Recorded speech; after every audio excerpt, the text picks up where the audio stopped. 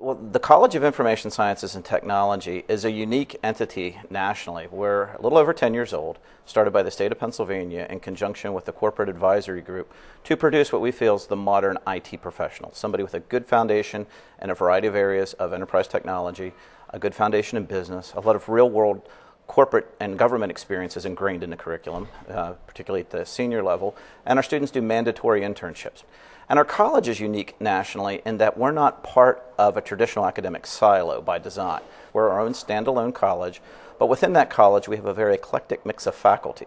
We have computer scientists, we have folks from business schools, we have sociologists, we have psychologists, we have attorneys in our faculty. We give our students a good business foundation, a good understanding of organizations, but also a good foundation in a variety of areas of enterprise technology. And that fusion between business and technology is really what organizations of all types are looking for today.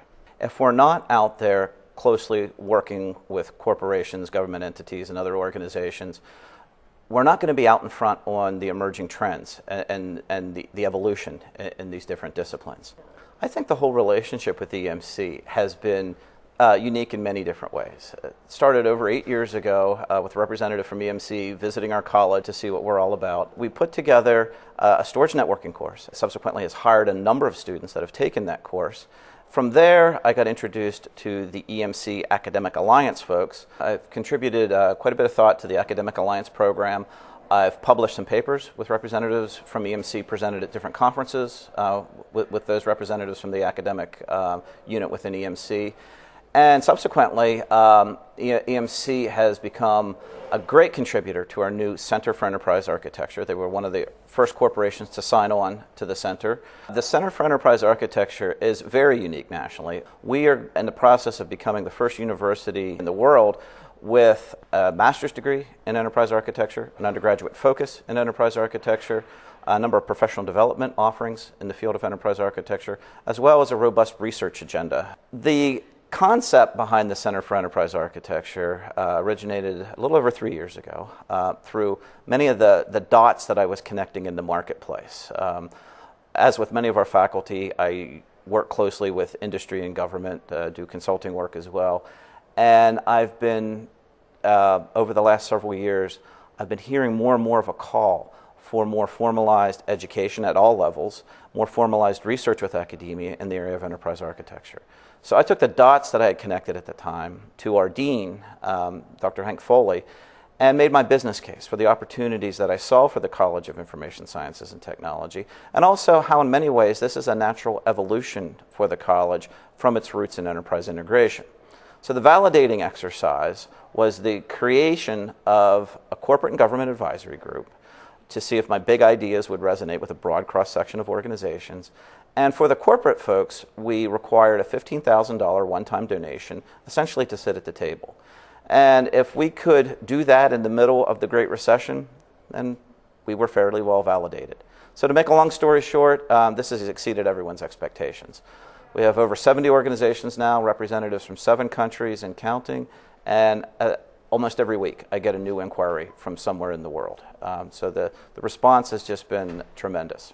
We're producing students that not only understand the technology, but they understand the business implications and the bigger picture behind those technologies for the organization. EMC has been a great contributor to our Center for Enterprise Architecture in a number of different manners. Uh, EMC is the global leader in storage and information management, which is an extremely important component of the enterprise technical architecture the perspective that the EMC folks have brought to the discussions as we discuss the design of our master's program, undergraduate programs, et cetera, ha- has really been a, a great asset to, to, us. The topic of storage and information architecture uh, initially does sound rather dry uh, to, to, many, uh, but once students understand A, what it is, and then the huge career opportunities in this area, and that there's, there's such a diversity of ways they can go within this particular field, students get very excited. As with most industries today, we face increasing global competition. However, what I've seen in other countries, um, particularly India and China, is that the focus tends to be more on producing storage technicians and focusing solely on the technology. We're focused on producing the storage architects, people that not only understand the technology but also understand the business implications of what they're doing and the strategic implications and tend to step back and look at the big picture and, and be able to design enterprise wide storage infrastructures that work for the organization. There are a number of ways that the students have benefited from the relationship with EMC. A, within the courses themselves, the EMC folks have been wonderful about sending uh, mentors in, into the classroom, virtually, uh, of course. So they mentor the teams, they, and through these conversations, they, they learn not only about the technologies involved in the project, but also about what these folks do day to day and about the many different career opportunities that are available in this space. And I, I think the students have um, gravitated towards the storage and information architecture class because of the career opportunities, not only with EMC, but this is an area of importance for all organizations today. And finding students with some knowledge in this area at an undergraduate level is very, very difficult. So, this course and the relationship with the EMC has made our students extremely marketable, extremely unique nationally, and as I said, it's been a, a win win for everyone.